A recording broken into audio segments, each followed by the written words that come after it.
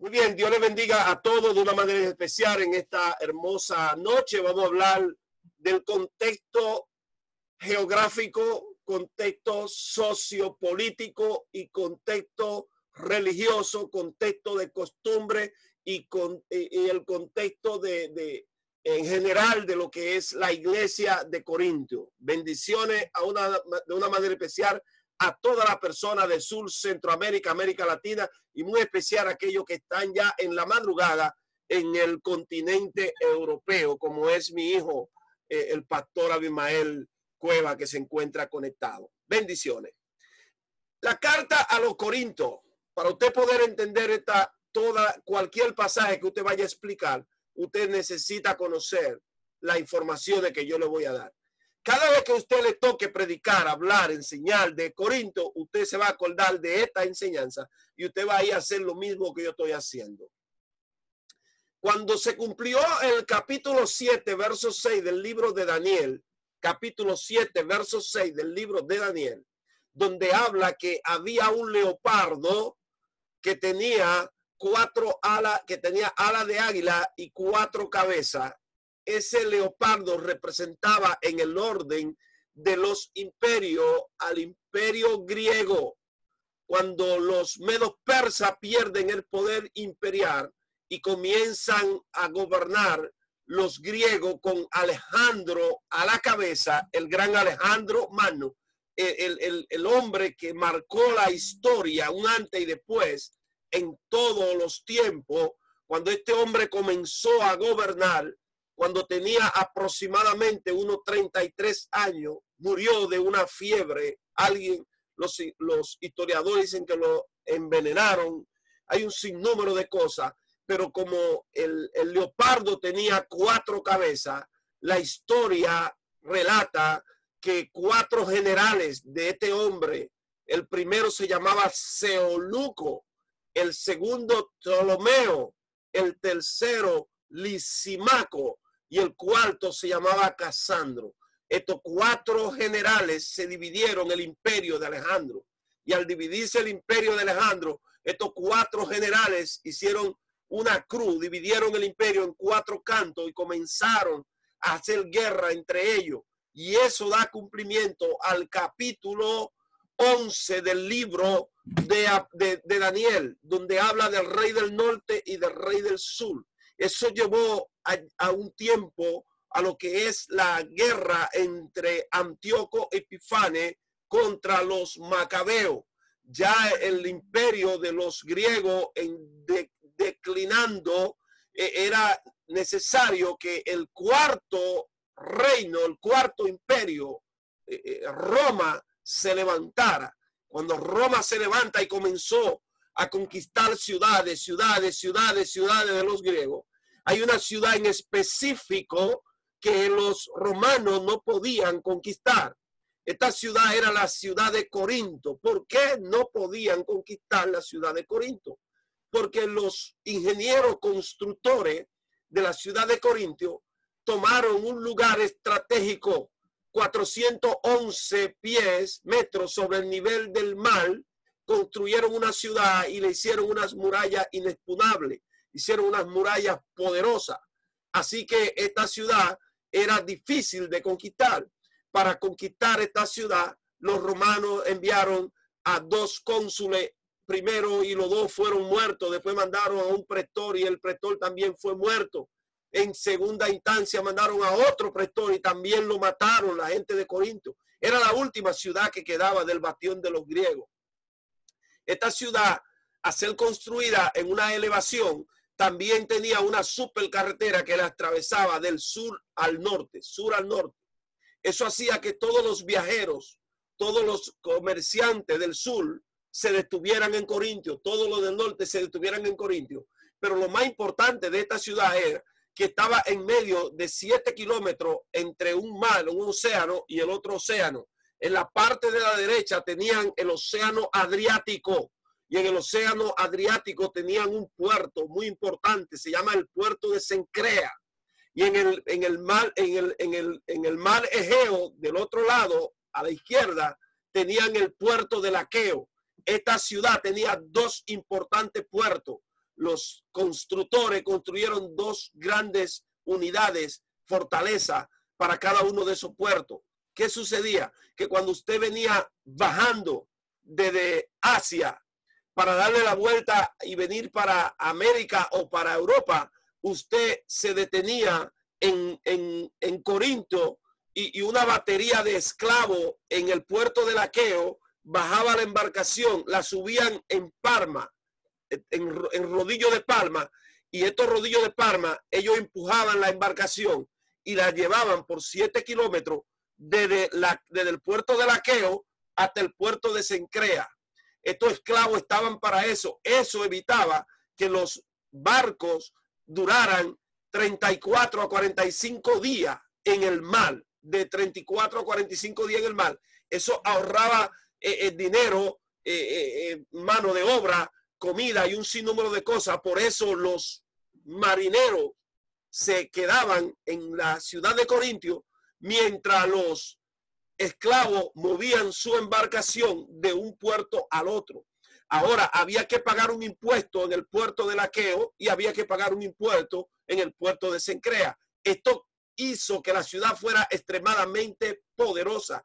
Esto hizo que la ciudad fuera extremadamente eh, rica. Ahora, mientras esta ciudad gozaba de esto, los romanos trataban de conquistarla.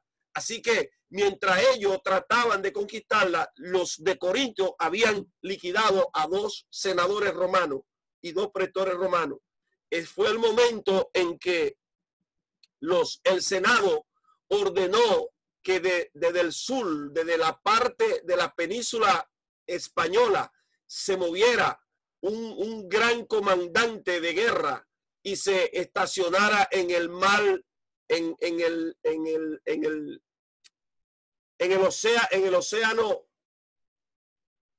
en el camino encontraré el nombre para no, para no equivocarme. Eh, eh, así que en el océano continuo al océano, al océano Adriático, y cuando se, estaciona este, este, este general comandante ahí, eh, pasaron como 33 días y una serpiente lo mordió.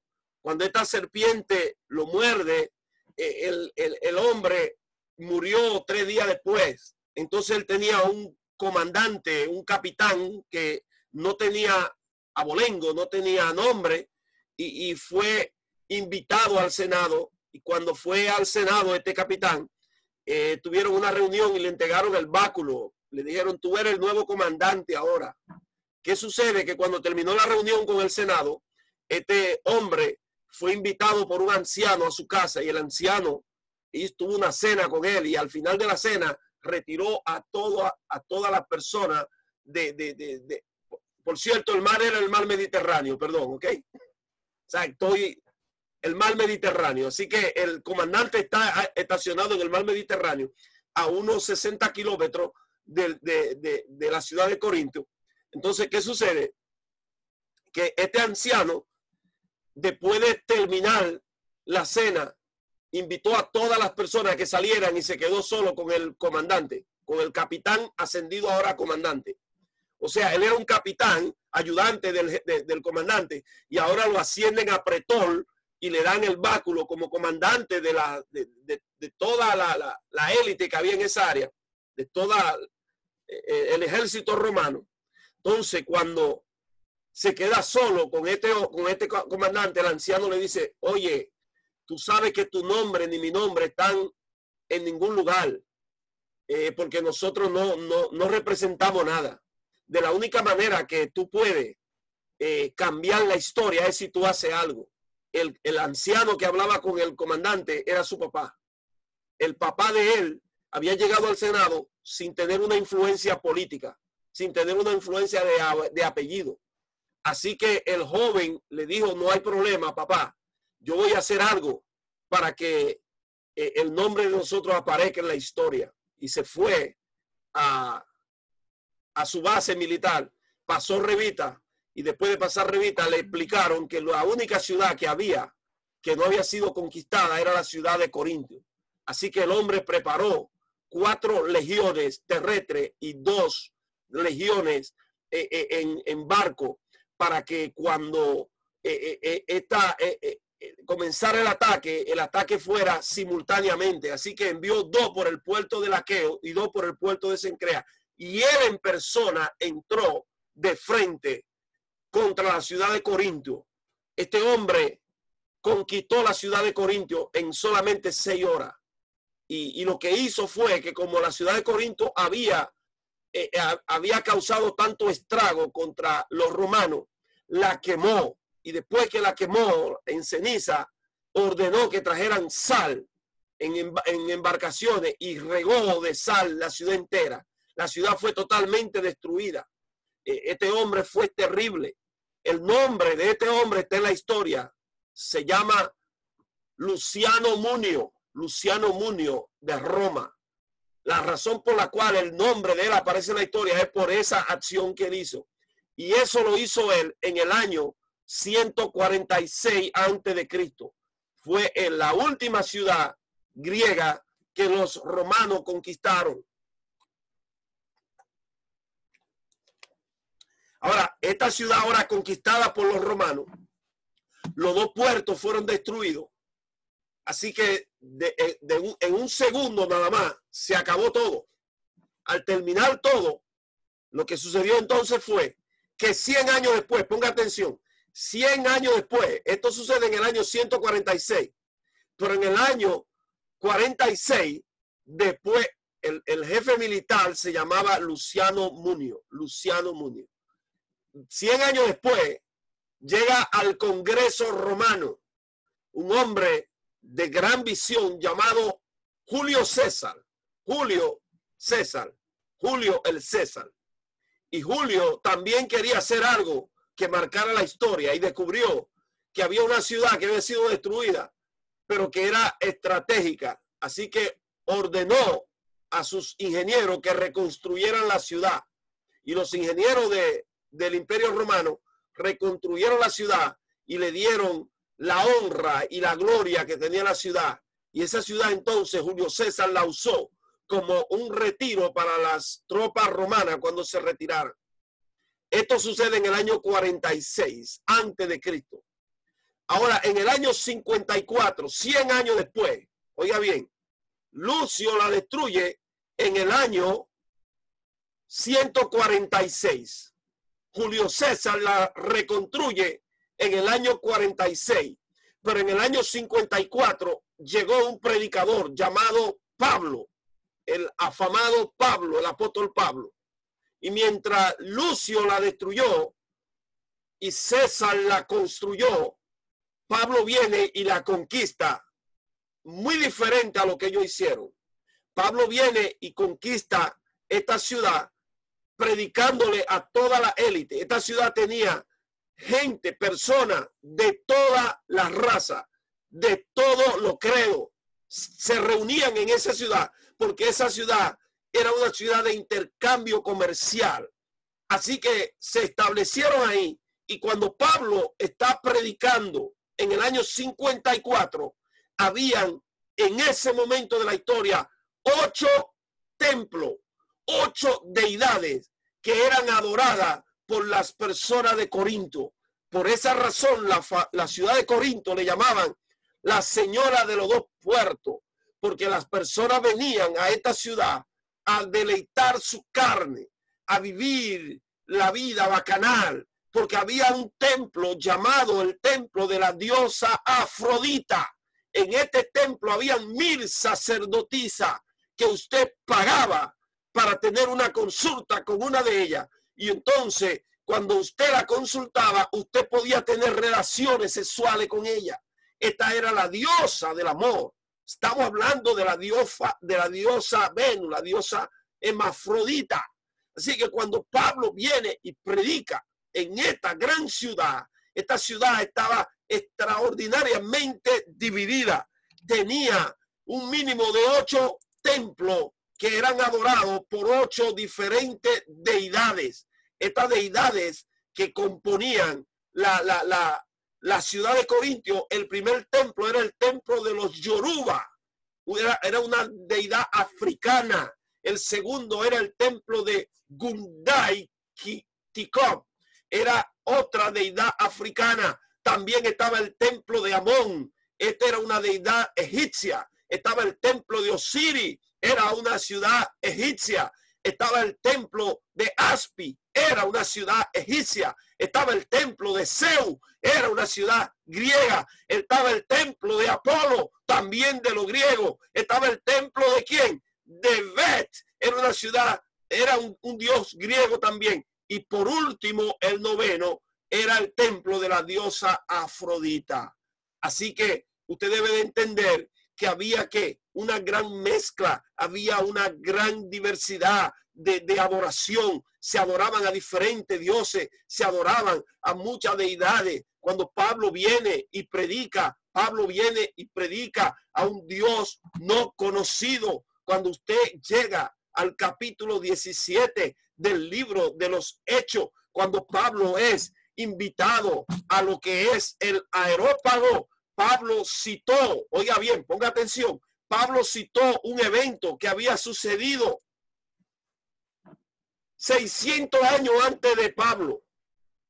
600 años antes de Pablo había llegado una gran eh, peste a la ciudad de Atenas y esta gran peste estaba matando a todas las personas, estaba matando a todo el mundo cuando consultaron a la sacerdotisa, la sacerdotisa no encontró solución y las personas siguieron muriendo. Pero de repente la sacerdotisa le, le, llegó una revelación y dijo, consulten al profeta. Y mandaron a buscar a un profeta. Y el profeta lo que dijo fue, esto es un problema de los dioses. Hay un Dios que está molesto con nosotros. Y las personas estaban muriendo por una pandemia, una peste como la que tenemos ahora.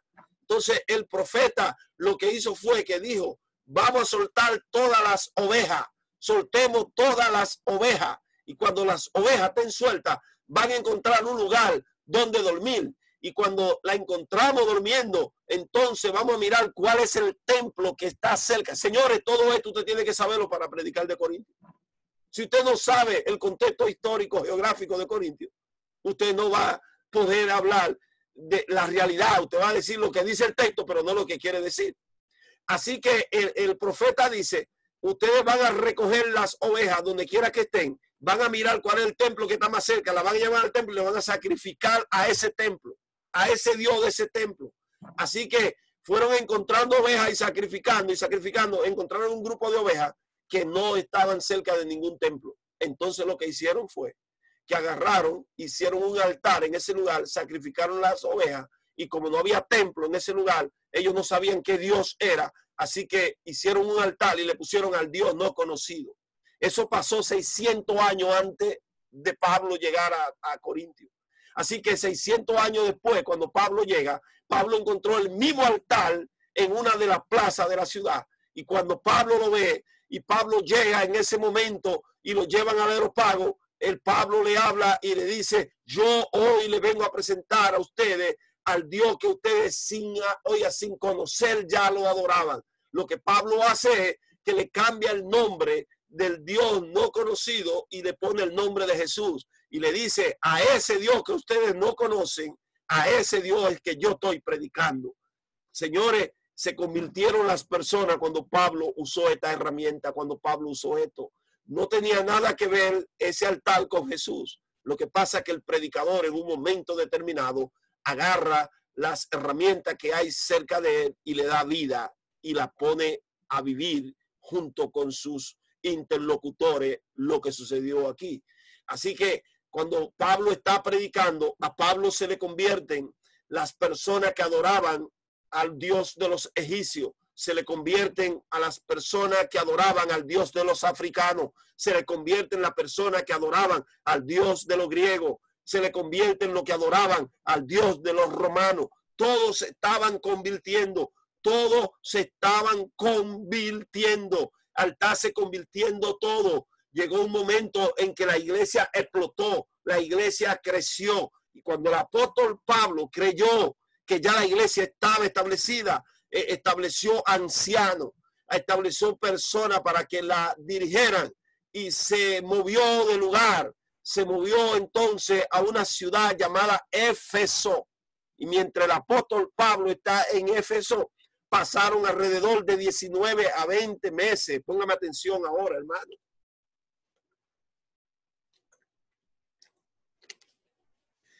Es decir, que cuando pasaron esto alrededor de 20 meses, la iglesia comenzó a, recibir los estragos y comenzó la iglesia a, contaminarse y comenzaron las divisiones dentro de la iglesia. Y entonces cuando comienza el verso, primera carta de Corintios, capítulo 11, el verso, capítulo 1, el verso 11, dice primera carta a Corinto, capítulo 1, verso 11.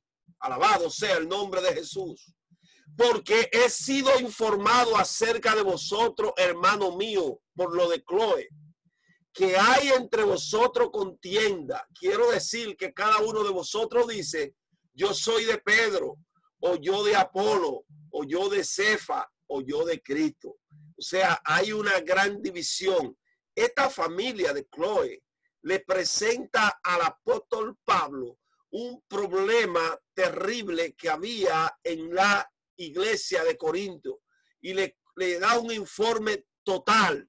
Así como había nueve deidades, nueve deidades, así también aparecen nueve problemas que hay en la ciudad de Corintio. La primera era que había una división rampante interna dentro del seno de la iglesia. Un grupo decía que seguía la doctrina de Pablo, otro la doctrina de, de, Pedro, otro la doctrina de Apolo y otro la doctrina de un hombre llamado Crispo. Así que habían cuatro tendencias y estas cuatro tendencias estaban gobernando la iglesia. También había un problema de inmoralidad dentro de la iglesia. También había otro problema de índole legales habían problemas matrimoniales, había un problema de que las personas no sabían cómo comerse los alimentos, se lo presentaban a los ídolos y ellos se lo comían. Había un problema serio, había un problema de conducta de las mujeres en los cultos, las mujeres no tenían control en los cultos.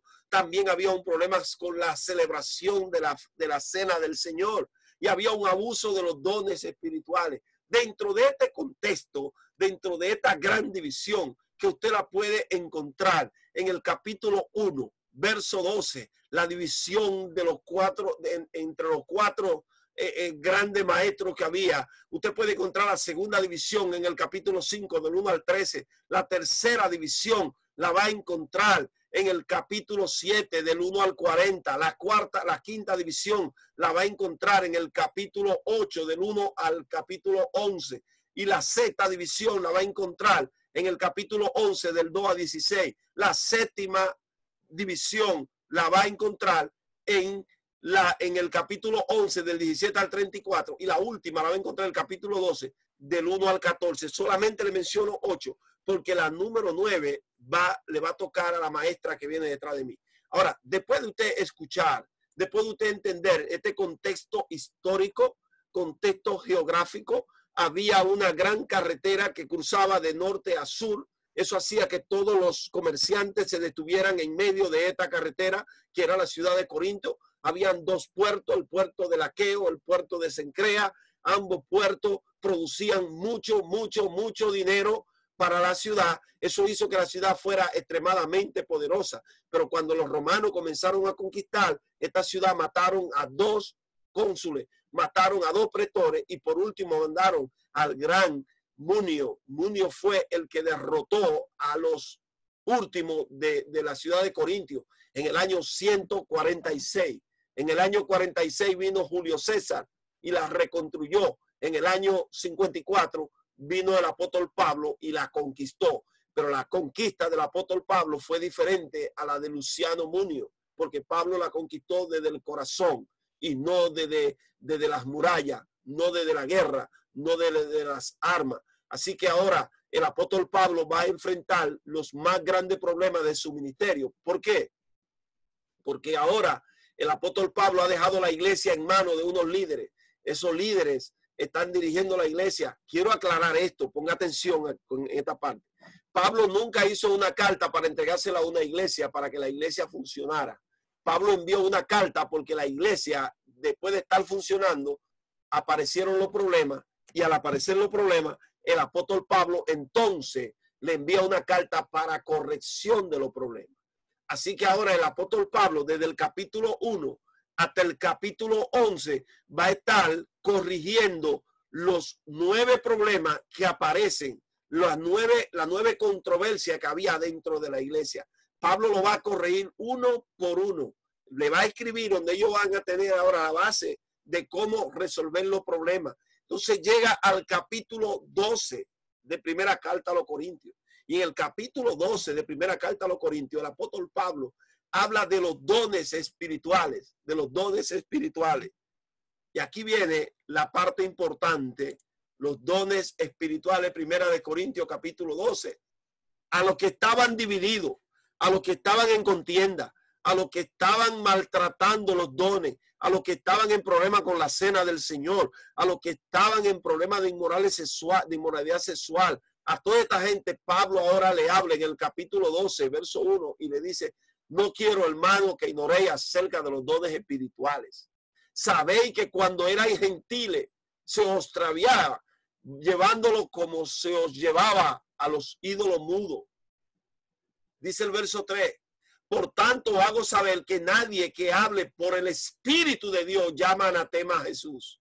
Y nadie puede llamar a Jesús Señor sino por el Espíritu Santo. Ahora bien, hay diversidad de dones, pero el Espíritu es el mismo. O sea, no hay un espíritu para cada don, hay un espíritu para todos los dones. Y hay diversidad de ministerios, pero el Señor es el mismo. Y hay diversidad de operaciones, pero Dios que hace todas las cosas en todo es el mismo. Pero a cada uno le ha dado la manifestación del Espíritu para provecho. Porque a este es dada por el Espíritu palabra de sabiduría a otro palabra de ciencia según el mismo espíritu, verso 9, verso 9, a otro fe por el mismo espíritu y a otros dones de sanidad por el mismo espíritu, a otro hacer milagro y a otro profecía, a otro discernimiento de espíritu, a otro diverso género de lenguas y a otro interpretación de lengua. Pero todas estas cosas las hace uno y, él mismo, espíritu, repartiendo a cada uno en particular como él quiere. Porque así como el cuerpo es uno y tiene muchos miembros, pero todos los miembros del cuerpo, siendo muchos, son uno solo, son un solo cuerpo, así también Cristo. Es decir, que ahora, después de enfrentar todos los problemas que estaba enfrentando la iglesia, Pablo pasa a decirle el mayor problema que ustedes tienen es que ustedes creen que hay un don que es más especial que el otro. Ustedes creen que hay un don que es mejor que el otro. Ustedes están divididos por los dones. Ustedes están divididos por las operaciones. Yo le quiero decir a ustedes que hay un don mejor que estos dones que yo le he mencionado. Mientras usted medita en esta parte que es la parte esencial, para usted poder hablar, para usted poder ministrar, para usted poder ejercer un ministerio y hablar de la iglesia de Corintios, usted tiene que conocer la base de cómo estaba la iglesia y qué sucedieron durante esos 200 años. ¿Qué hizo Luciano Munio? ¿Qué hizo Julio César? ¿Qué hizo Pablo? Primero en el 146, segundo en el 46 y tercero en el 54. Cuando usted tiene toda esta información, esté tranquilo que yo le voy a mandar el material completo se lo voy a poner ahí para que usted lo disfrute. Están con punto y coma. Cuando usted lea este material, usted va a decir, wow, ¿qué, qué, reforma le tengo que dar ahora a mis mensajes que yo he dado? Ahora, cuando usted entiende todas estas cosas que yo le he hablado, yo le he hablado a usted por 12 capítulos, del 1 al 12. Aunque usted no me vio leyendo, yo le estoy explicando lo que pasó en esos 12 capítulos. Ahora, en el capítulo 13, Oiga bien, en el capítulo 13 del libro de, Primera Carta a los Corintios, usted no puede leer el capítulo 12, ni el 13, ni el 14 separado. Todo es una misma unidad. 12, 13 y 14.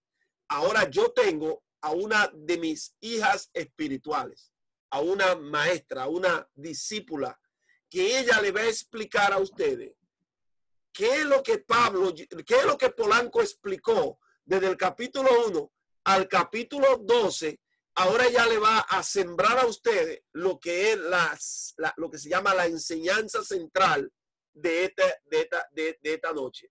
Y es que, ¿cuál es el significado real de la carta primera a Corintio capítulo 13? ¿Cuál es la realidad? ¿Cuál es la verdad?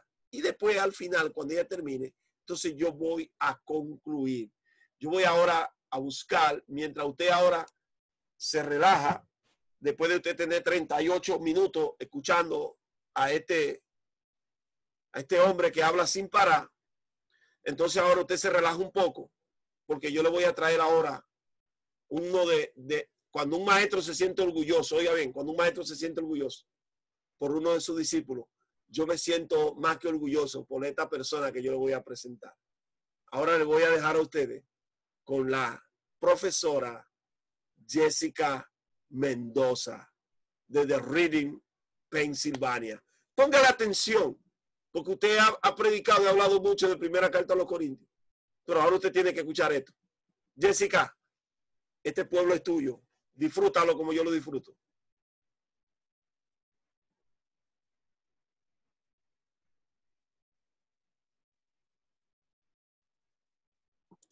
Um, Roseli, quítate el mute, por favor, para poder volver a, silenciar a todo el mundo. Ahora sí. Ahora sí. Muchas gracias.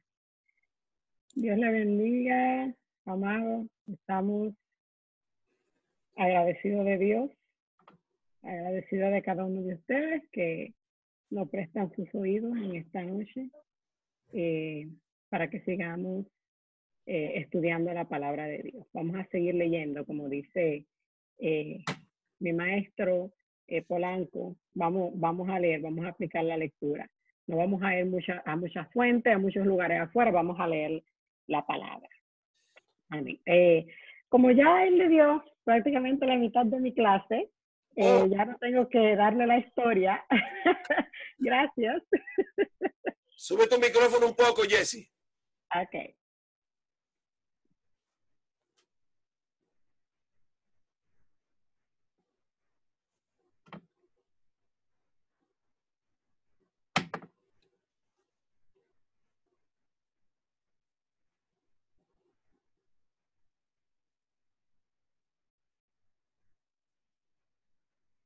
Habla a ver si te escucho.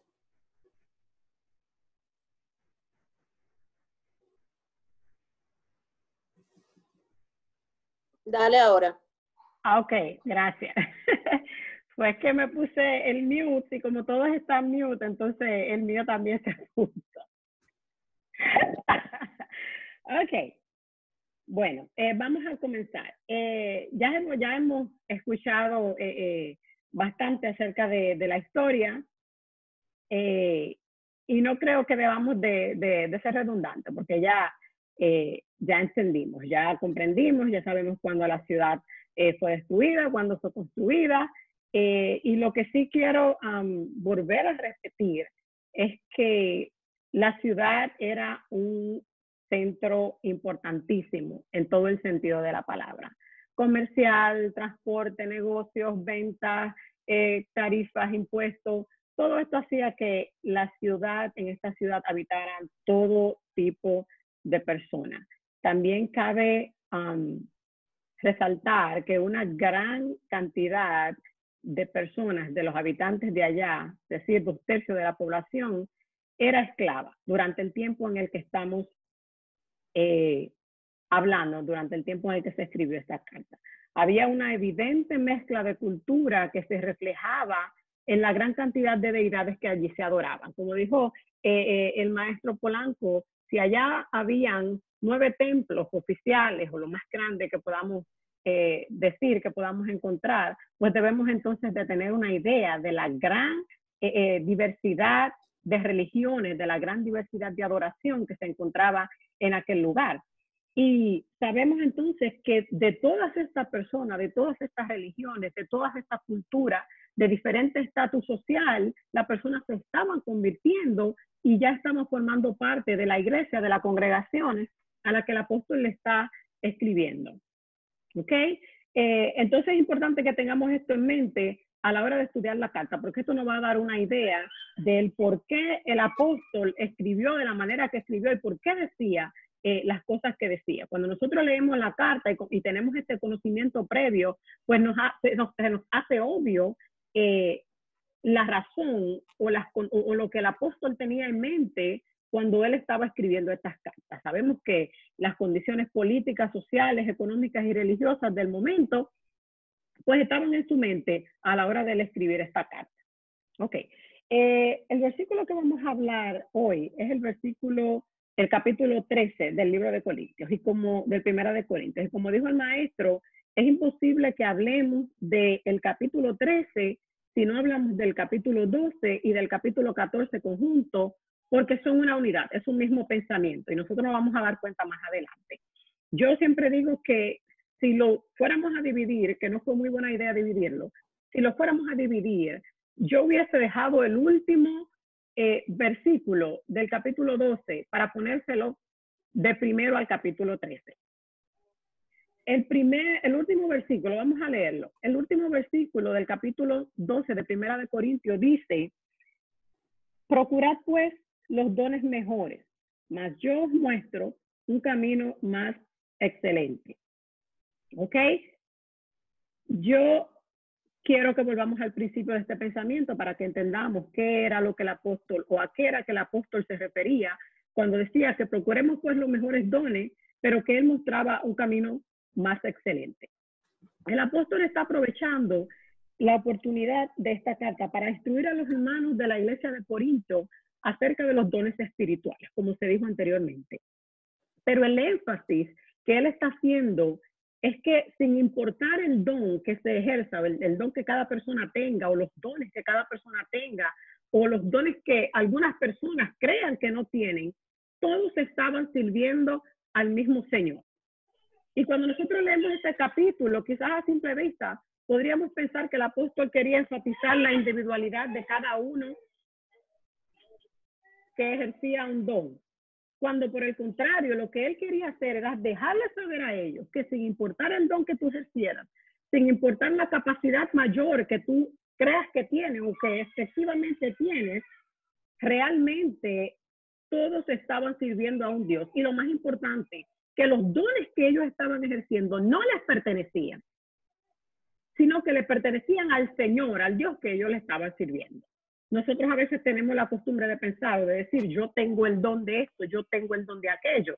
Y es necesario que entendamos que el Espíritu Santo deposita en determinado momento en nosotros la capacidad de nosotros poder eh, ejercer un don, de nosotros poder ejercer eh, eh, un carisma, de los tantos que hay en la palabra, pero todo esto le pertenece al Espíritu Santo y no a nosotros. Y el apóstol quiso hacer un énfasis importante en esto para que las personas puedan eh, eh, eh, saber. El mismo versículo 5 del 12 dice, él le dice claramente, hay diversidad de ministerio, hay diversidad de dones, hay diversidad de talento, de carisma, pero el Señor es uno, el Señor es el mismo. Como ya nosotros sabemos acerca de la división racial y religiosa, hay un aspecto importante que hay que mencionar.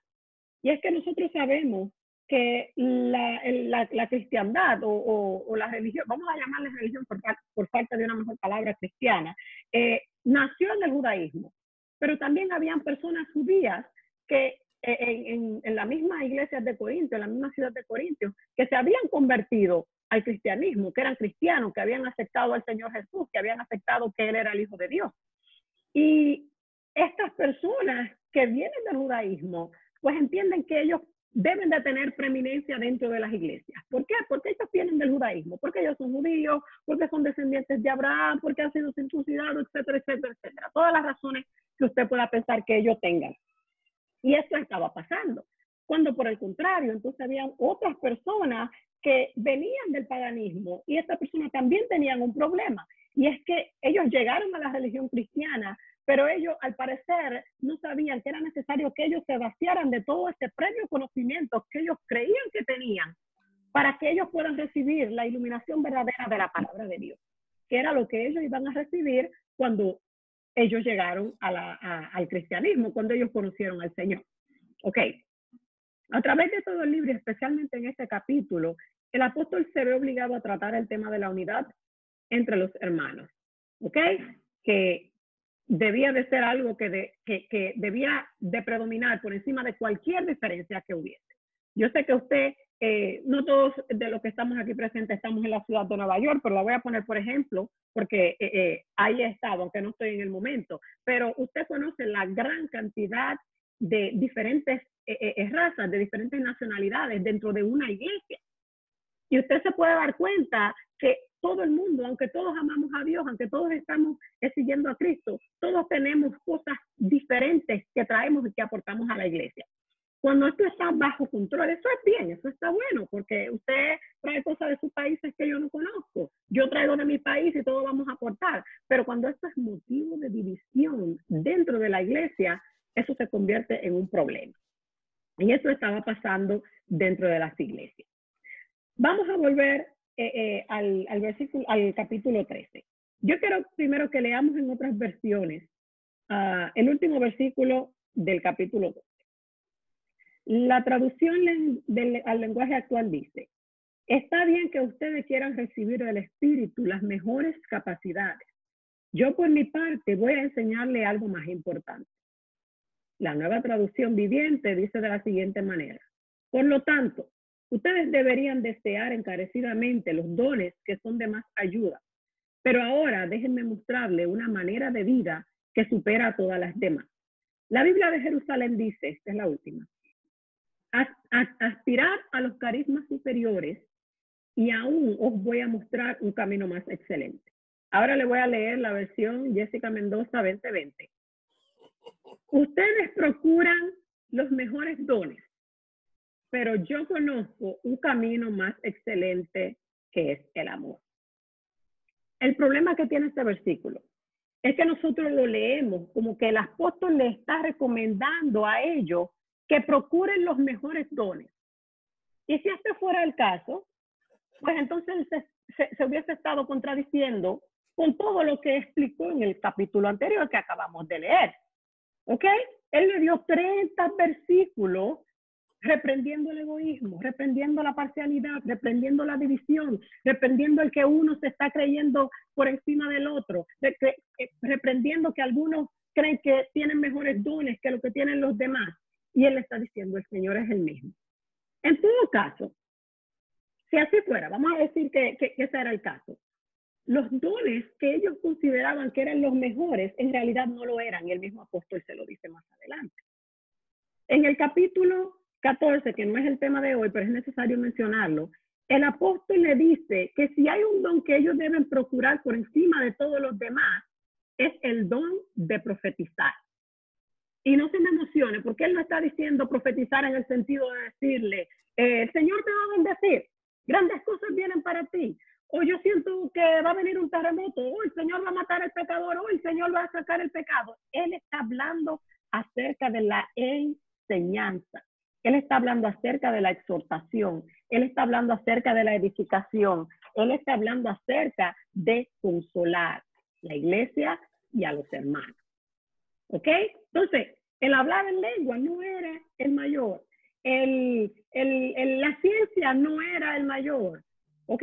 No había uno mayor porque mismo está diciendo el Señor es en todo, pero en el caso de que hubiese uno mejor que todo, pues es la enseñanza como en, las palabras que lo puse el apóstol, sería la profecía. Pero la aislación del pensamiento nos dice que eso no era lo que el apóstol estaba presentando. Lo mismo sucede en el texto del libro de Juan capítulo 5, verso 39, cuando nos dice, escudriñar las escrituras porque a vosotros parece que en ellas tenéis vida eterna y ellas son las que dan testimonio de mí. Nosotros los leemos, no está mal, porque si queremos mandar a los hermanos a que, que escudriñen, a que lean la palabra, vamos a usarlo, está bien, no lo vamos a quitar. Pero el Jesús no le estaba diciendo, escudriñen las escrituras, él le está diciendo, ustedes ya las escudriñan. O sea, ustedes escudriñan las escrituras porque a ustedes les parece que en ella está la vida eterna, y, pero ellas son las que dan testimonio de mí, a mí ustedes no me creen. O sea, el Señor no le está dando una exhortación, sino que lo está reprendiendo. Y es lo mismo que, que pasa en el versículo de hoy en ese verso, eh, eh, la, la, palabra no debe de verse o no debe de leerse como un imperativo, como un mandato. ¿ok? Sino que debe de verse o de leerse como un indicativo, que es una declaración de un hecho. El Señor le está diciendo que ustedes están haciendo las cosas, eh, el apóstol Pablo le dice, ustedes están haciendo las cosas mal. Yo les voy a mostrar un camino más excelente, yo les voy a mostrar un mejor camino que el que ustedes han decidido tomar. Ok, ahora sí vamos a ver a qué se estaba refiriendo el apóstol cuando hablaba de un camino más excelente a través del amor. Vamos a ver a, qué se está refiriendo con esto. Eh, yo no les voy a dar definiciones y incansables definiciones y definiciones y de todas las palabras, porque yo sé que usted la ha escuchado casi todas, si no todas. Ah, brevemente, mi diccionario dice que la palabra amor o la palabra hebrea que común, comúnmente se utiliza para amor es la palabra ahaba, que en la Septuaginta se traduce de diferentes maneras, como ágape, agapán y agape. Hay otras dos palabras hebreas que se, eh, se, utilizan para definir diferentes tipos de amor, los cuales no vamos a definir en este momento. De la misma manera, el vocablo, vocablo griego tiene diferentes palabras, cuatro específicamente, para definir el amor. Vamos a hablar brevemente de ella. Número uno, eh, la palabra filia. Eh, esta se trata de relaciones amistosas, afecto y cariño. También la palabra eros, que habla de pasión e intensidad en un sentimiento. Esta palabra usted no la va a encontrar como tal en la Septuaginta, porque como tenía una connotación erótica, usted sabe que eh, no la iban a poner ahí, tampoco en el Nuevo Testamento. También está la palabra estoye, que habla de afectos familiares, el sentimiento que usted siente por, sus hermanos, por sus sobrinos, por sus madres, sus padres, etc. También está la palabra ágape, que esta es la eh, a la que se refería el apóstol eh, en la carta que, estamos, en el capítulo que estamos leyendo, con esta se define amor, o, esta define el amor, porque es un amor que tiene procedencia divina. ¿Ok? Es el tipo de amor del que está hablando el apóstol en el capítulo 13 de Primera de, Corintios. El ejemplo más claro que nosotros eh, eh, tenemos en la Biblia para representar la diferencia entre eh, el querer, un sentimiento de yo te quiero, es más difícil para nosotros en español porque nosotros sabemos claramente las diferencias entre um, yo te quiero y yo te amo. ¿Ok? En inglés es un poco más difícil porque como todo es I love you. Si te quiero, si te amo, todo es I love you. Pero en español, para nosotros, es mucho más fácil porque nosotros conocemos la diferencia entre yo te quiero y yo te amo. ¿Ok? Y esa es uh, básicamente o prácticamente la diferencia que hay entre estas dos palabras. El ejemplo más claro eh, está en el libro de Juan capítulo 21, del verso 15 en adelante, en el encuentro que tuvo eh, Simón Pedro con Jesús después que él había resucitado, después de todo eh, esto que pasó, el Señor se acerca y le dice, Simón, hijo de Jonás, tú me amas. La palabra que Jesús utilizó fue agapao, de ágape. Más que esto, él le respondió, sí, Señor, tú sabes que yo te amo, pero la palabra que, él, que utilizó Pedro cuando le respondió no fue ágape o agapao, sino fileo, de filí. O sea, él le está diciendo, Jesús le pregunta, Pedro, ¿tú me amas? Y él le dice, Señor, yo te quiero. El Señor vuelve y le pregunta a Simón Dios de Jonás, ¿tú me amas? Utilizando de nuevo la palabra agapao. Pedro le respondió, sí, Señor, tú sabes que yo te amo. Pero le dijo, yo te quiero. Fileo, no le dijo yo te amo, no, le dijo agapao. Jesús le dice, pastor, a mis ovejas. La tercera vez, el Señor vuelve y le pregunta, pero el Señor ahora cuando le pregunta, le dice, Pedro, tú me quieres, tú me fileo, ya no le pregunta, tú me amas, sino tú me quieres. Y él le dice, entonces él se entristece y le dice, Señor, tú sabes todo, tú sabes que yo te quiero. O sea, hasta donde yo puedo, hasta donde yo entiendo, hasta donde, hasta donde yo llego, yo te quiero. Mi versión cuando el Señor le está diciendo, tú me, tú me amas, o sea, tú me amas como yo te amo.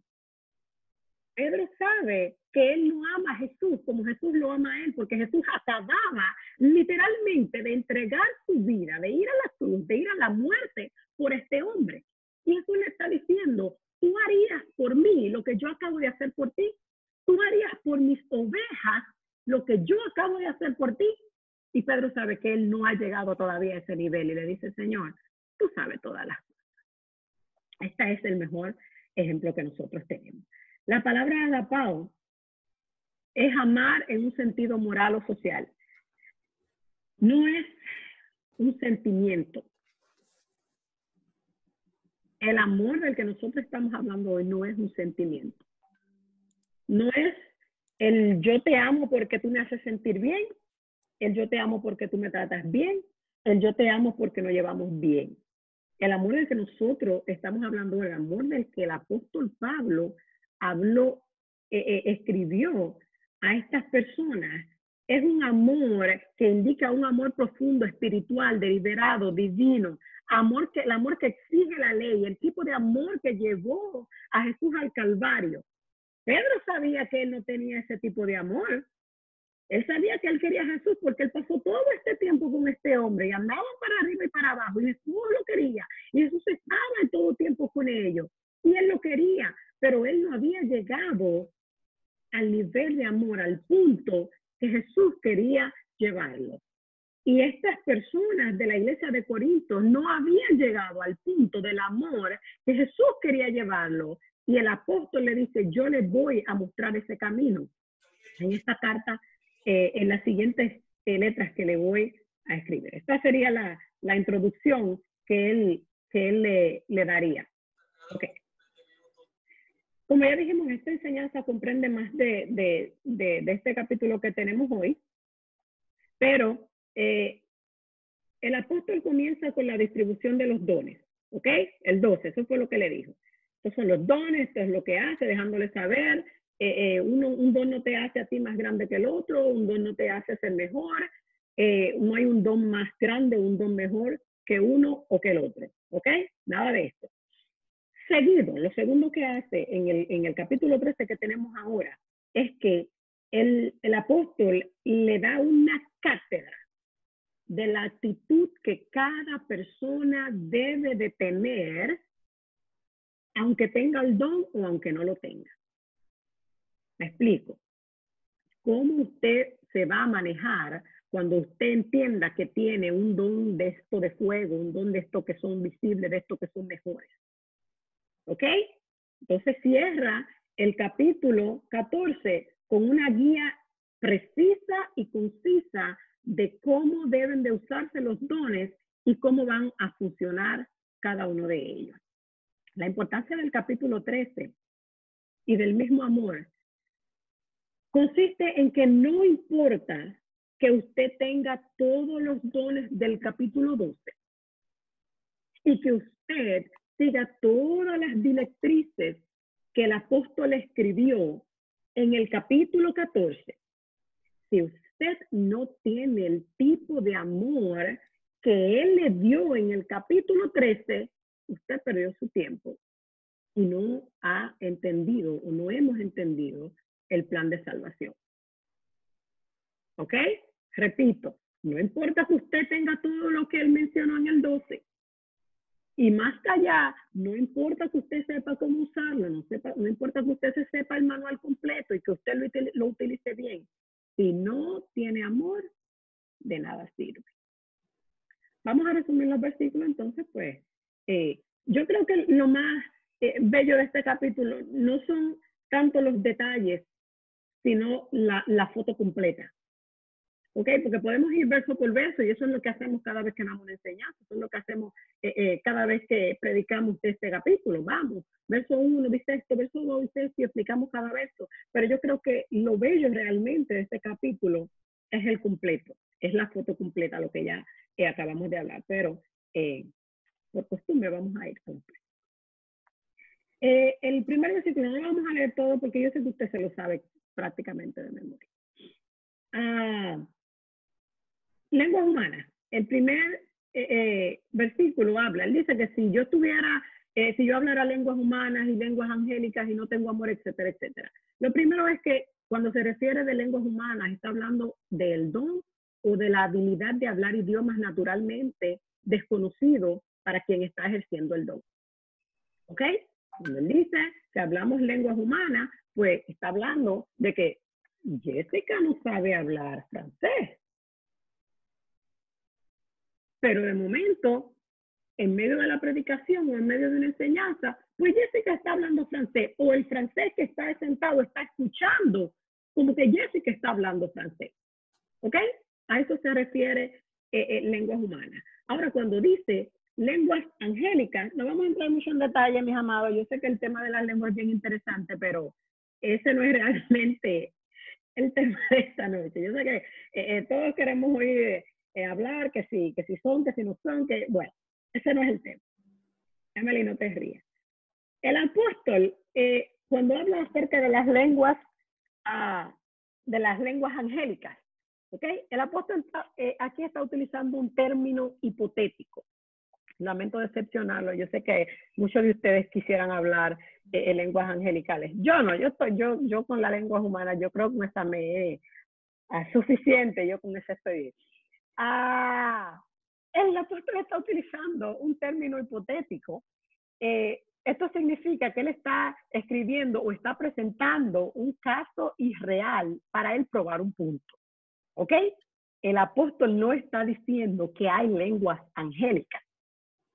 El apóstol está diciendo, si hubiese lenguas angélicas y yo las hablara, etcétera, etcétera, etcétera. ¿Ok? Eh, lo importante de esto, o el punto del apóstol es, eh, como ya le dije, que no importa que tú hables tu idioma más otros 20. No importa que todos los oyentes te escuchen hablar en sus propias lenguas en las que ellos nacieron, como en Hechos capítulo 2. Tampoco importa si usted se pudiese, que no lo hace, si usted se pudiese comunicar con los ángeles en un idioma que solo ellos puedan entender y que sea desconocido para el resto de los mortales. Si usted no tiene amor, si usted no ama a sus hermanos, si sus hermanos no son más importantes que ese dichoso don o que estas dichosas habilidades, sus palabras serán como metal que resuenan o címbalo que retiñe. Será solo ruido, será mucho espuma y poco chocolate, será solo bulla, no vas a edificar, no vas a exultar, no vas a construir reino. ¿Ok? Tus expresiones en lenguas extrañas solo van a hacer el mismo ruido que hacían las personas en los templos eh, que estaban en Corintios, que utilizaban muchos símbolos, porque por eso es que el apóstol está mencionando. ¿Ok? sería mucho símbolo, sería mucho metal, eso era lo que se utilizaba en la ciudad, eso era lo que pasaba en las adoraciones paganas. Entonces le está diciendo, usted puede hablar toda la lengua que usted le dé la gana, pero si usted no ama, usted no es mejor que los paganos que están allá afuera adorando a dioses que no son. Versículo 2. Siguiendo con los dones. Dice el apóstol, si usted tuviese profecía y don de sabiduría y de conocimiento, de discernimiento y de fe. Yo creo que es que el apóstol la sacó del estadio, porque tener cinco esto es poderoso. Y es decirle al que tenga esos cinco, que usted no es nada, es mucho decir. O sea, que usted tenga profecía y que usted tenga don de sabiduría y de conocimiento y que usted pueda discernir y que usted tenga fe, que usted pueda mover montañas y que el apóstol le esté diciendo que usted no es nada. ¿Cómo es esto posible? Bueno, lo más en el reino de Dios somos usted y yo. El hombre, la humanidad, su creación, nosotros. Fíjese lo lejos que fue Dios enviando a su a su hijo unigénito, que era unigénito en ese momento, a dar su vida por nosotros. Eso debe de darle a usted una idea de la importancia que tiene el hombre, el ser humano para Dios. Y si yo puedo conocer todos los misterios, y si yo puedo exhortar como nadie, y si yo puedo discernir todos los pensamientos y las intenciones, los espíritus, si yo puedo trasladar montañas, y si con todo esto yo no veo a la humanidad con el mismo amor y el mismo valor que el Padre y el Hijo, nada soy. Bendito sea el Señor. Eso está claro. Versículo 3. Si usted diera todas sus posiciones para alimentar al hambriento, si usted entregara su propia vida y usted no tiene amor, hay un problema.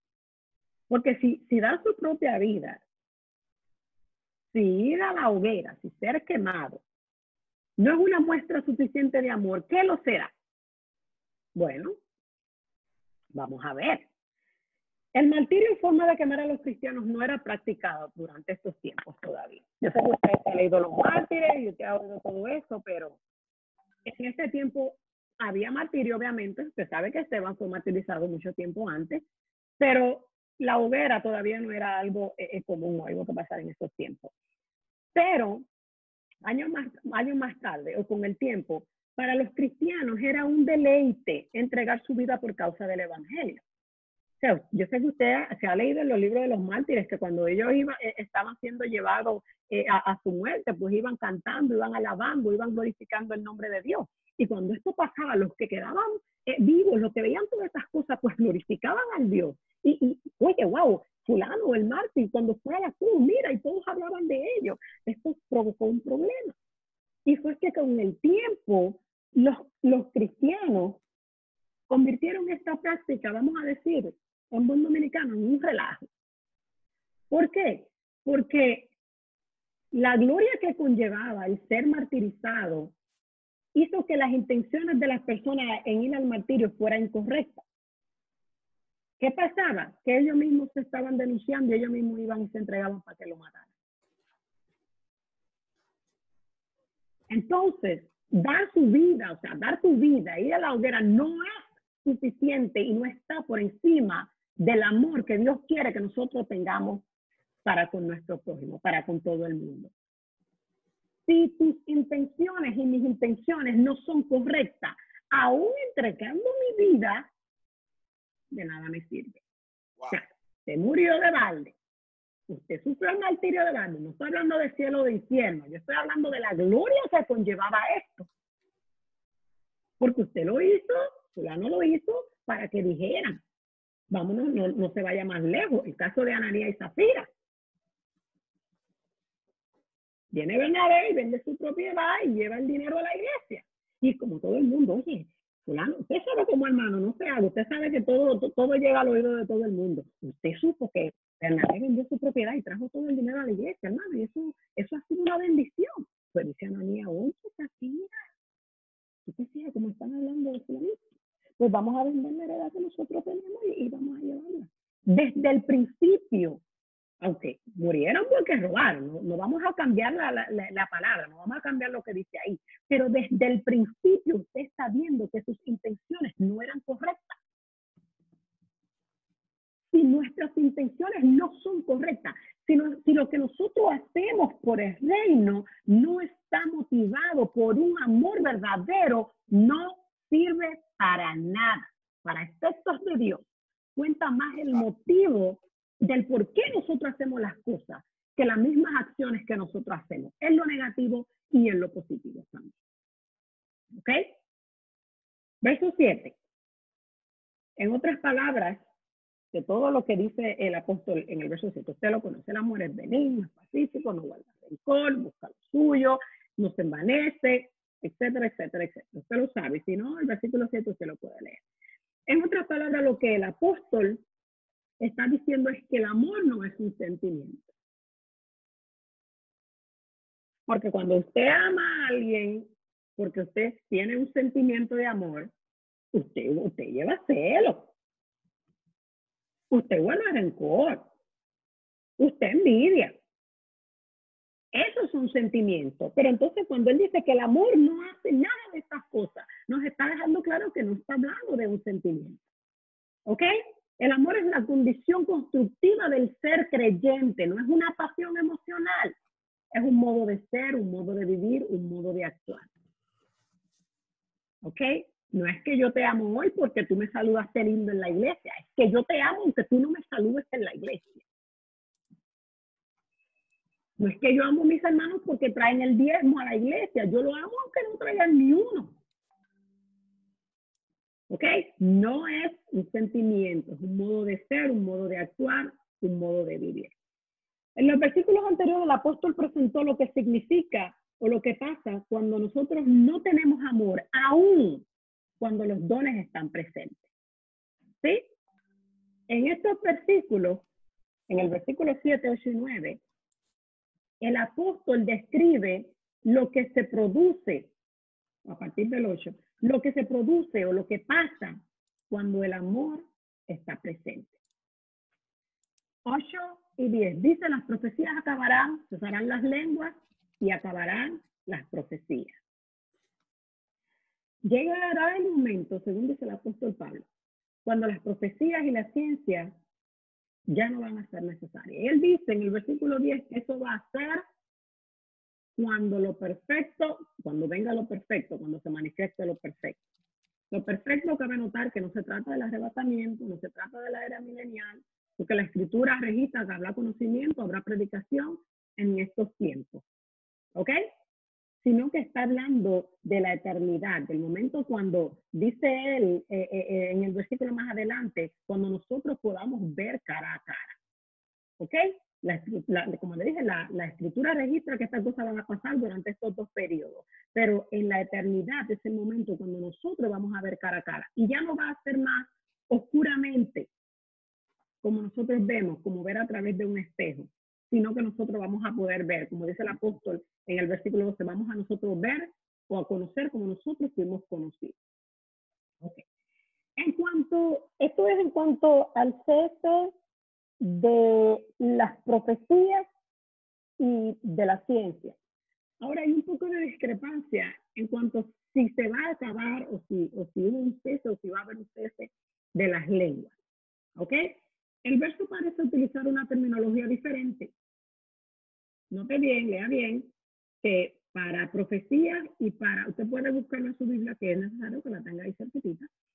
Ah, para las profecías y para la ciencia dice que se van a acabar, pero cuando hablan de las lenguas dice que va a cesar.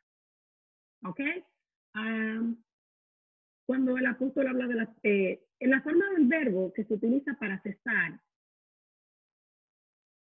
indica que, o para acabar, indica que algo le va a poner fin a las profecías y a, y a, la ciencia, no que simplemente va a desaparecer, sino que va a venir algo que le va a poner fin. Y el apóstol dice cuál es ese algo. Dice que cuando se manifieste lo perfecto, cuando el Señor termine todo lo que está haciendo, cuando el Señor venga a reinar con su pueblo, a vivir con su pueblo, cuando estemos en la eternidad, eso le va a dar fin a la profecía y al conocimiento porque no lo vamos a necesitar. Pero la palabra que se utiliza y es diferente cuando habla acerca de las lenguas. Muchas personas dicen que usted bautista, usted va eh, a en esto que le voy a decir, que las lenguas ya cesaron, que las lenguas acabaron, que ya no hay lenguas. ¿Ok? Hay otros que dicen que no es así. Ahora, cuando, como ocurrió con el aceite para ungir, usted sabe que en la antigüedad se utilizaba aceite para ungir, pues cuando se manifestó el Espíritu Santo, pues el aceite es obsoleto, ya se necesita, ya no se, ya no se tiene que usar porque ya llegó lo que, lo que estaba representando.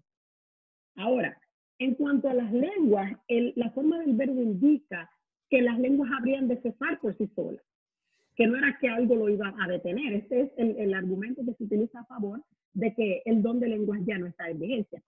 Ahora, yo digo que la forma del verbo cesar no solo indica que algo acabó, sino más bien que algo pausó.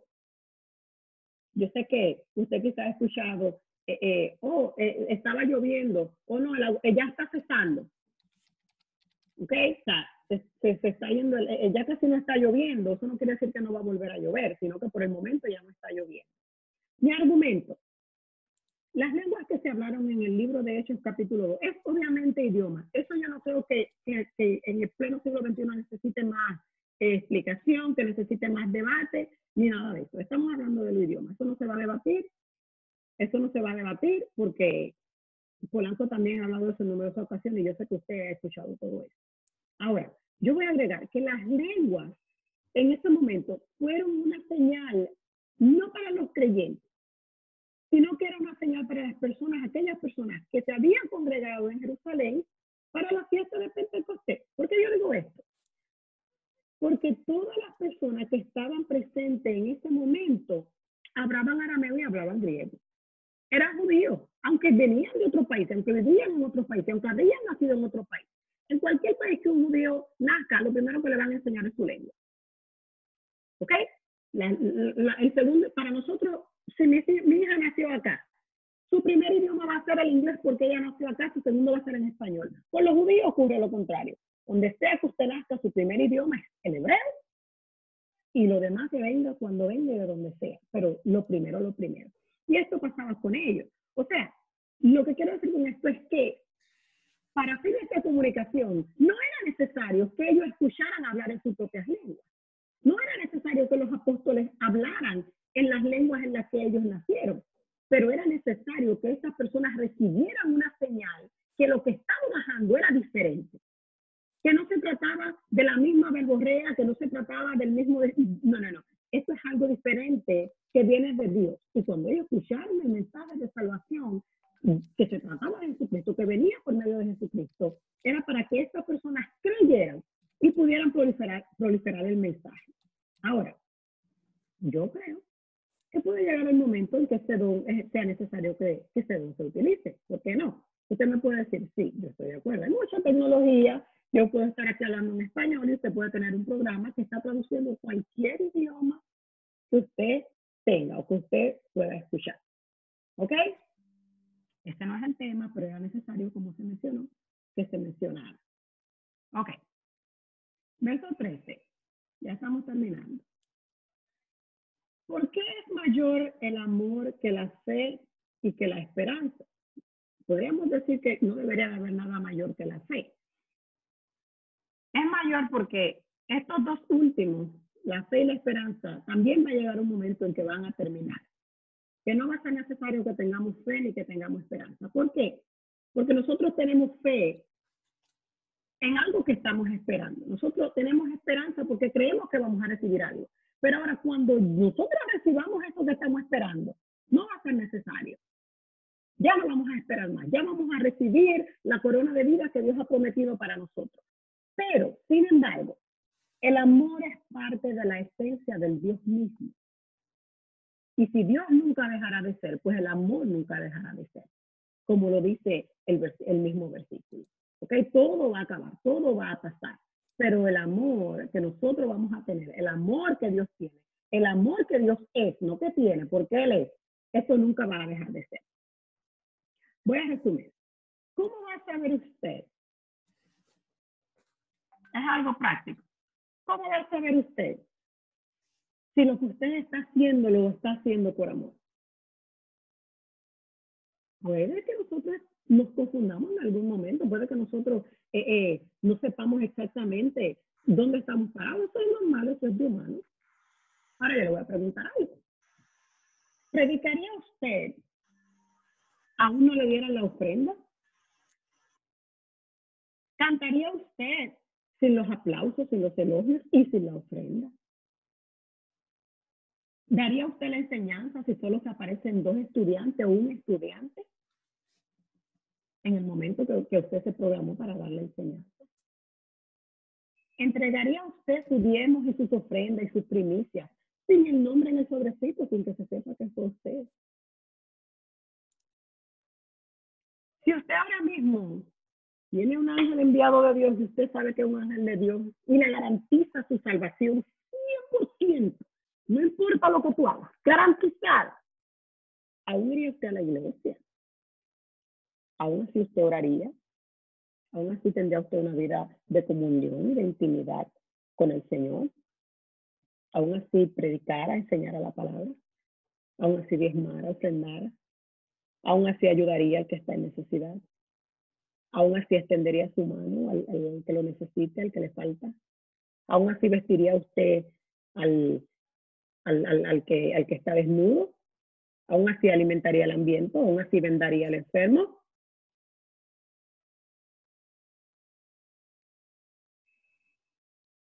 Analice usted, piense usted, yo no puedo decirle,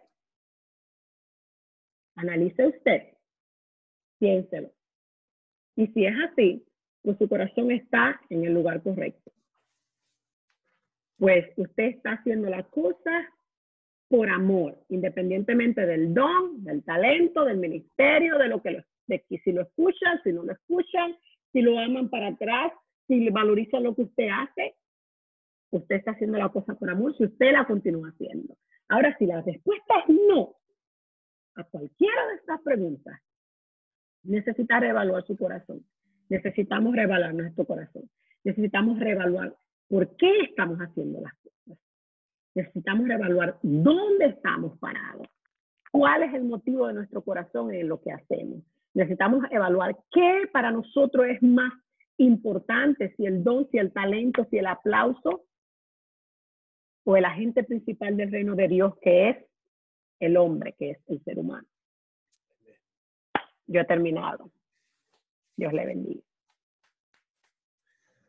Dios te bendiga, maestra. Dios te bendiga. Tremendo, tremendo, tremendo. Como usted, puede, como usted ha podido ver, si usted no maneja la introducción que yo le di, usted jamás va a poder entender lo que esta joven acaba de explicar. Lo que el apóstol Pablo hace que él agarra los primeros 12 capítulos, 12 capítulos, y se centra en el capítulo 13 para decirle, no importa lo que ustedes hagan, no importa a lo que ustedes se dediquen. Si usted no siente amor, si no tiene amor por lo que usted hace, usted está perdiendo el tiempo. Mire que Pablo no se detuvo a pelear con ellos. Lo que Pablo hizo fue que le dijo, lleguen aquí con todos los problemas que usted tenga, pero comiencen a hacer lo que ustedes hacen por amor. ¿Por qué? Lo que Pablo toma es los ministerios que supuestamente, entre comillas, los corintios creían que eran los más importantes y lo pone en una balanza y dice, si yo hablase lenguas humanas y angélicas y no tengo amor, de nada me sirve. El apóstol Pablo no está diciendo que él habla lenguas angelicales, porque nadie habla lengua angelicales. Los ángeles cuando han hablado con los humanos han hablado el idioma de los alabados, sea el nombre de Jesús. Cuando los ángeles hablan con los humanos, han hablado el lenguaje de los humanos. Ningún ángel se va a presentar a hablar con un humano en el idioma del ángel, porque el idioma del ángel va a ser incomprensible para el humano. Lo que el apóstol Pablo hace es un supuesto negado.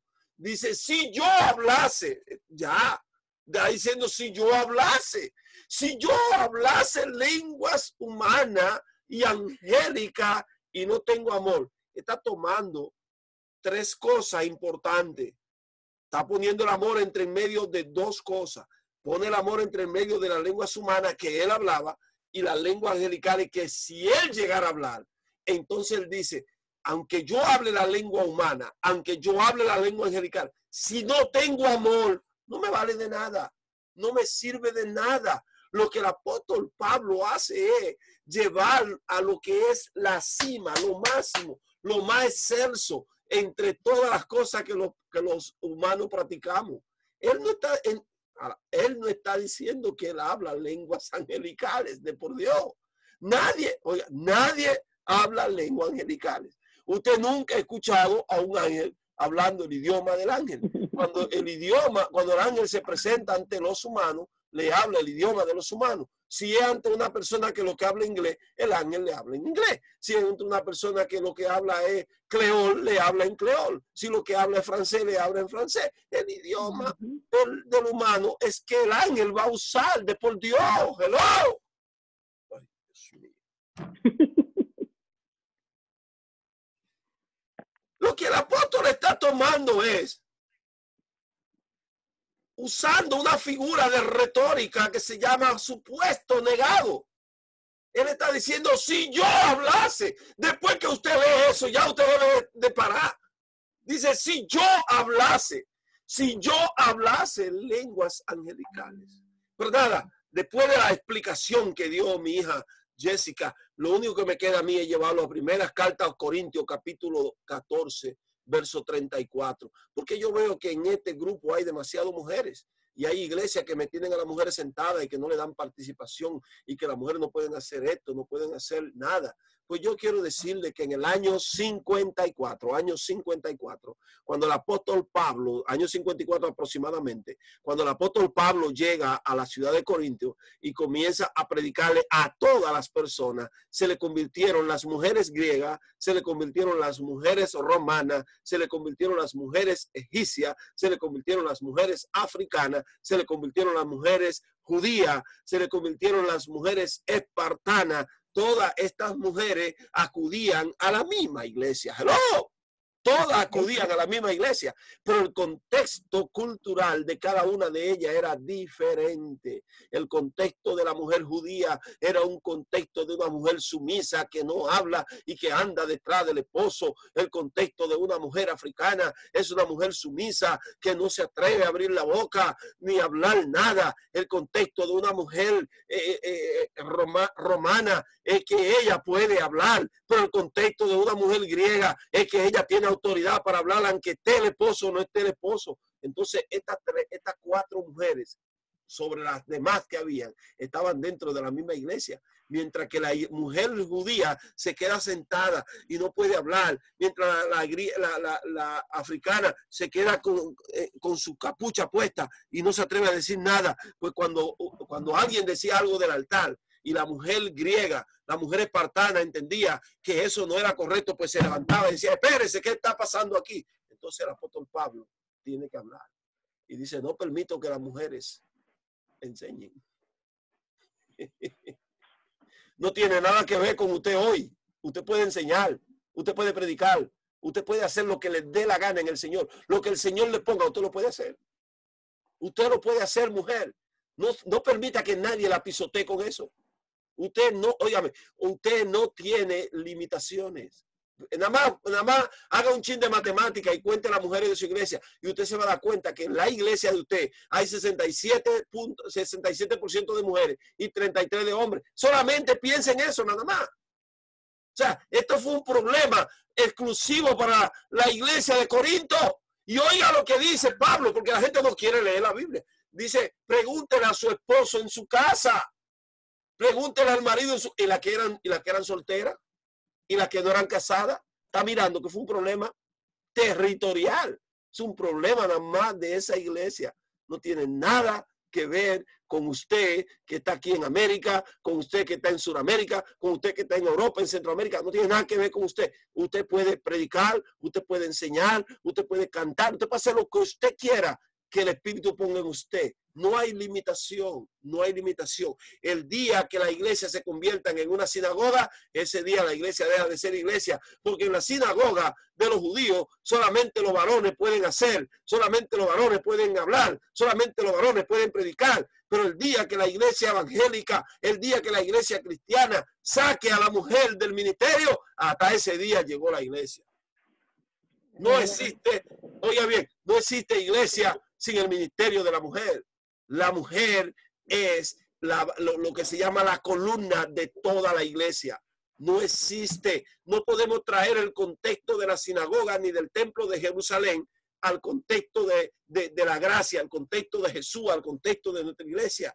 Nuestra iglesia necesita a las mujeres. Y ese pastor que viene y le dice, usted no puede hacer esto, usted no puede hacer lo otro, usted no puede hacer lo otro. Entonces usted viene y le dice, pues mire, entonces como yo no puedo hacer esto, yo no puedo limpiar la iglesia, yo no puedo diezmar, yo no puedo ofrendar, ni puedo tampoco eh, eh, eh, darle el, el, el deseo que usted quiere cuando usted se acuesta conmigo en la noche. Niéguele todo.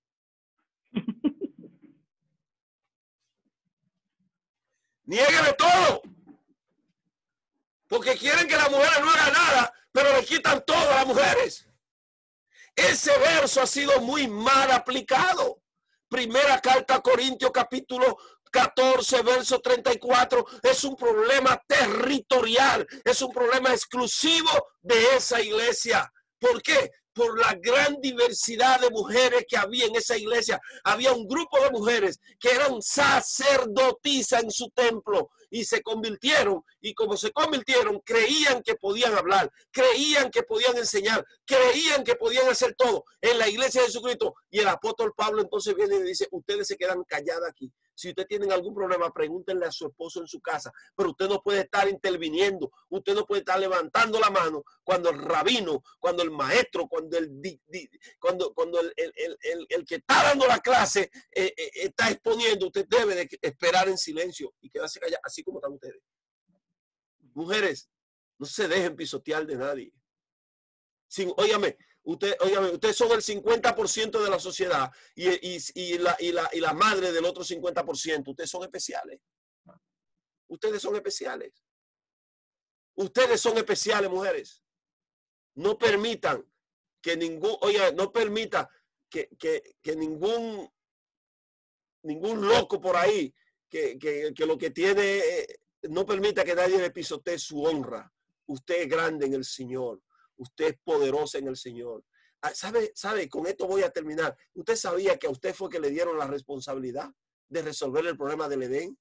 ¿Sabe que no fue Adán que se lo dieron? ¿Sabe lo que le dice el texto? Tú herirás, o sea, la simiente de él te herirá en, la, en, la, en, el calcañal, pero tú le herirás la cabeza. Fue a la mujer que le pusieron esa responsabilidad, no al hombre. Fue a usted, mujer, porque era usted que iba a traer era usted que iba a traer al Mesías, que iba a, romper y a reconciliar el mundo con Dios. Así que no permita nada de eso. Recapitulando, las cartas a Corintios son un manjar si usted entiende su, su, contexto histórico, su contexto geográfico, su contexto religioso. Si usted lo entiende, todos los mensajes le va a ser fácil explicarlo todos sin excepción, si usted entiende esto, va a explicar bien las dos, las dos cartas sin ningún problema, porque usted va a saber la razón por la cual sucedieron las cosas. Usted va a entender qué sucedió en el año 146, qué sucedió en el año 46, qué sucedió en el año 54. Usted va a entender que esta ciudad estaba anclada, construida 411 metros sobre el nivel del mar, dentro de dos eh, eh, eh, puerto, el puerto de la Quea, el puerto de Sencrea, y esa división de tierra de 7 kilómetros le llamaban un istmo, istmo, I-T-M-O. Un istmo es un espacio de tierra que divide a dos océanos, que divide a dos ciudades, a, a dos algo que tiene que ver con agua. Por eso en este caso dividía el mar Adriático del mar Egeo y en el medio estaba Corintio. Por eso Corintio fue la última ciudad que los romanos lograron conquistar. Y para eso tuvieron que valerse del gran Luciano Munio, un hombre que está en la historia universal. Quizá usted ha leído de Luciano Munio, pero yo hoy se lo estoy entregando a usted en la Biblia para que usted entienda la importancia de usted conocer el contexto histórico geográfico de cada una de la, de la parte de la Biblia. Si yo voy a hablar de Colosa, yo tengo que conocer qué pasó en Colosa, quién construyó a Colosa, cuándo la construyeron, por qué la construyeron, dónde la construyeron, qué, qué, qué, qué quería hacer el que la construyó. Si usted va a hablar entonces de, de, de, de la, la, iglesia de, de Esmirna, usted tiene entonces que saber qué era Esmirna. Es, esa es la importancia del maestro, es la importancia del predicador. Usted no tiene que saberlo todo, lo que tiene que leer, leer, leer. con esto cierro, le voy a presentar un libro, le voy a presentar un libro. Si usted puede algún día de su vida y comprarse ese libro, toda la información que yo le di está en ese libro.